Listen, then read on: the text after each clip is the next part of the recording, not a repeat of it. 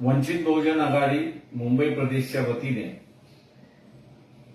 गोरेगावमध्ये metro car shed बांधण्याचा घाट जो शासनाने घातलेला आहे त्याच्या विरोधात रविवारी आंदोलन आहे.